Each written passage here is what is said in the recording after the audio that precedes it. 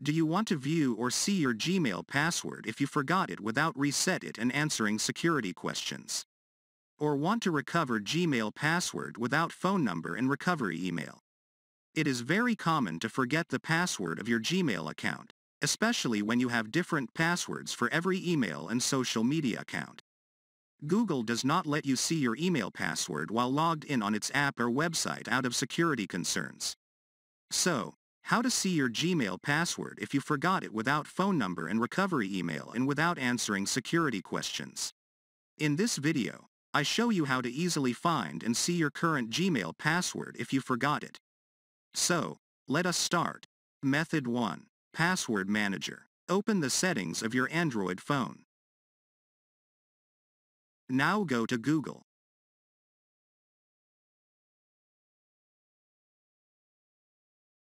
Select Manage your Google account.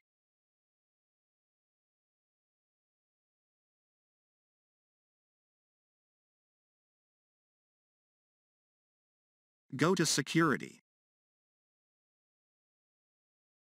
Scroll down to Password Manager. Here you will find all saved password. Select Google. Enter your phone login. Now you can show your Gmail password.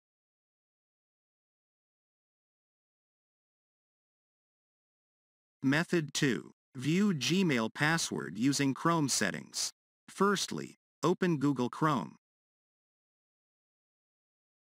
Tap on the menu icon on the top right, three vertical dots. And select Settings. Now go to Password Manager.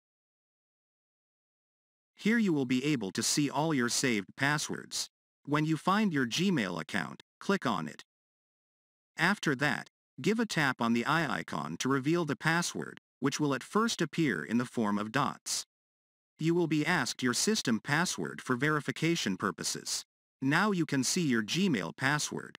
So, these are the easy ways to see Gmail password if you forgot it. I hope this video will help you to recover your Google account password without changing it. Thanks for watching this video. And don't forget to hit the like button below the video and share it with your friends. If you want more videos like this, then tap on the subscribe button and join us.